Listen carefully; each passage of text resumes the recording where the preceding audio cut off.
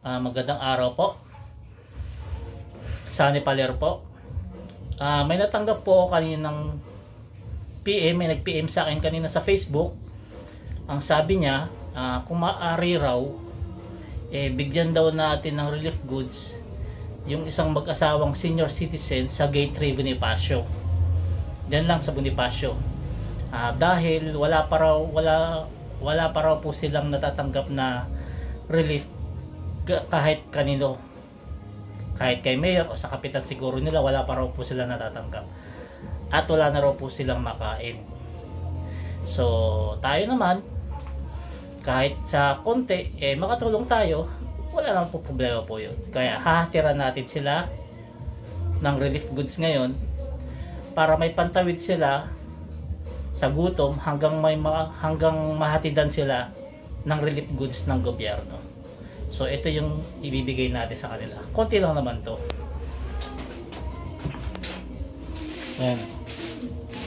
May bigas. May itlog, dalawa. Ayan. Sardinas, kape. Tapos noodles. Ayan.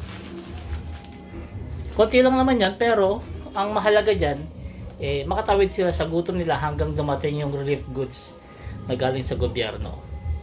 Kasi syempre wala rin naman siguro sa kanila tutulong kung hindi rin naman rin tayo. Eh, kaya hatid na natin ito ngayon sa kanila. Tara!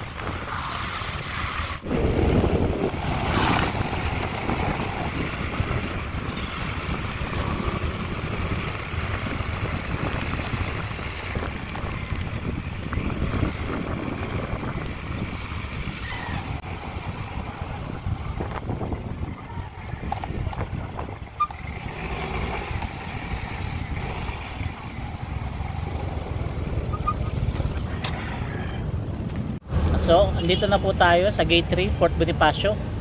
Hinihintay na lang natin yung matanda na bibigyan natin ditong relief. Hindi ko kasi alam yung bahay nila eh.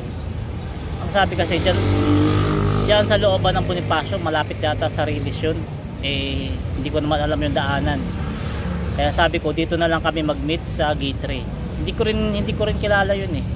First time ko lang rin siya makikita eh. Siguro yung kapitbahay niya, yung nag-message sa akin na bigyan ko sila ng relief, ng tulong. Kaya ito tayo ngayon.